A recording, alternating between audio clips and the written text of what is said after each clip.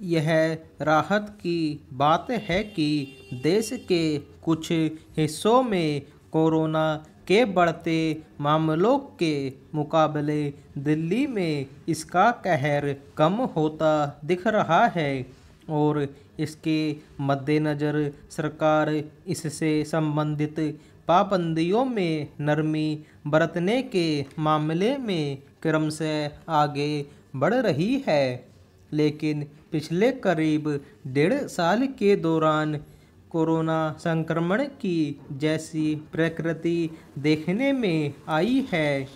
उसमें यह ध्यान रखने की ज़रूरत होगी कि कोई ऐसी लापरवाही न हो जिससे स्थिति फिर बिगड़ जाए। गौरतलब है कि दिल्ली में सरकार ने एक सितंबर से स्कूल, कॉलेज और कोचिंग संस्थानों को खोलने का फैसला किया है। शुरू में नौवीं से बारहवीं तक कक्षा के लिए स्कूल खुलेंगे। इसके बाद आठ सितंबर से छठी से आठवीं कक्षा के विद्यार्थियों को भी अभिभावकों की अनिवार्य मंजूरी के साथ स्कूल आने की इजाज़त होगी। हालाँकि स्कूल या संस्थान की ओर से अभी ऐसी कोई बाध्यता नहीं ला दी जाएगी जो बच्चों को स्कूल आने के लिए बाध्य करे। सरकार का यह फैसला राजधानी में कोरोना संक्रमण के क्रम से गिरते मामलों के मद्देनज़र सामने आया है। सार्वजनिक जीवन की अन्य गतिविधियों में छूट दिए जाने के मुकाबले स्कूल, कॉलेज को खोले जाने को लेकर अब तक स्वाभाविक हिचक बनी हुई थी, क्योंकि बच्चों और विद्यार्थियों के बीच संक्रमण को लेकर सबको सबसे ज़्यादा चिंता थी। दरअसल दिल्ली में दूसरी लहर का ज़ोर कम होने के बाद ख़ास तौर पर पिछले करीब एक पखवाड़े से संक्रमितों और गंभीर स्थिति में पहुँचने या फिर मरने वालों की तादाद में लगातार गिरावट दर्ज की जा रही है, बल्कि राहत के ऐसे मौके भी आए जिस दिन किसी की भी मौत नहीं हुई। हालाँकि यह आशंका भी जताई गई कि कोरोना विषाणु के संक्रमण की तीसरी लहर आ सकती है और उसमें बच्चों पर ज़्यादा खतरा होगा, लेकिन कई ऐसे आकलनों में खतरा कम होने की बात भी कही गई।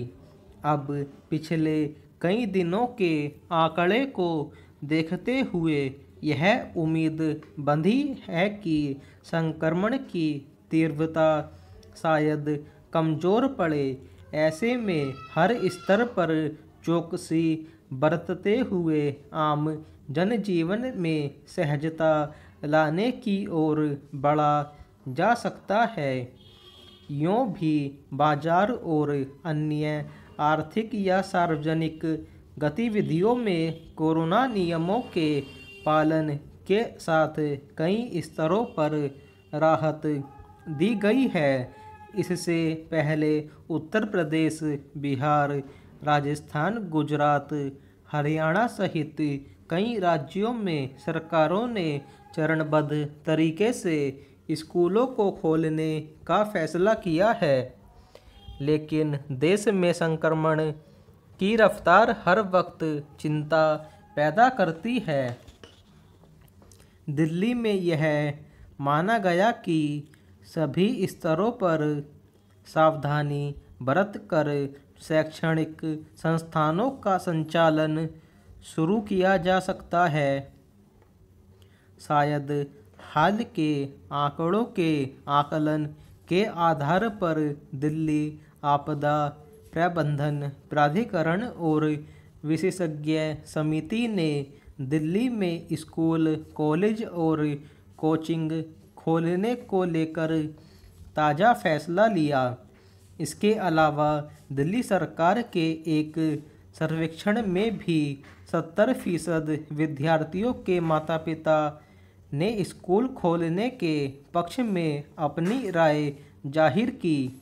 यह सही है कि बीते साल मार्च से लेकर इस साल मई तक महामारी को लेकर देश भर को भी त्रासदी झेलनी पड़ी।